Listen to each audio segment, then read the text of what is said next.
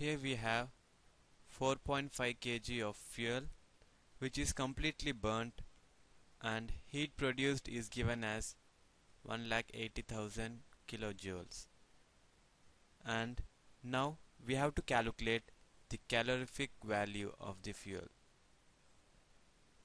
First of all, let us see the definition of calorific value. It is the amount of heat energy produced when 1 kg of a fuel is completely burnt.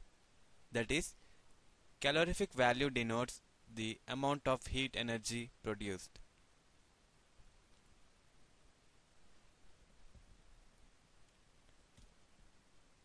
So, calorific value can be calculated as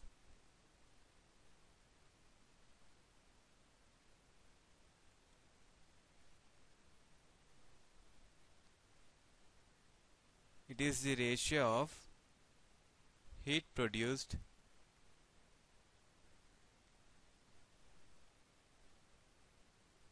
to amount of fuel used for burning.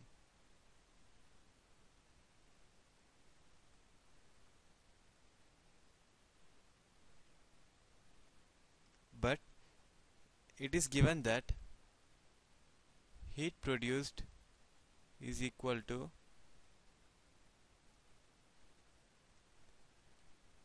one lakh eighty thousand kilojoules and amount of fuel burnt is equal to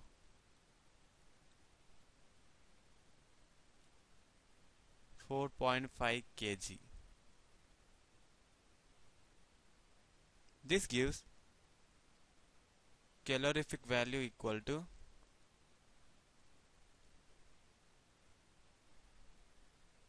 now substitute these values in this formula. Now we get 1 lakh 80,000 kilojoule upon 4.5 kg. This upon simplification we get 40,000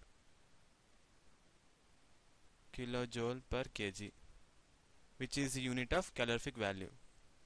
Therefore calorific value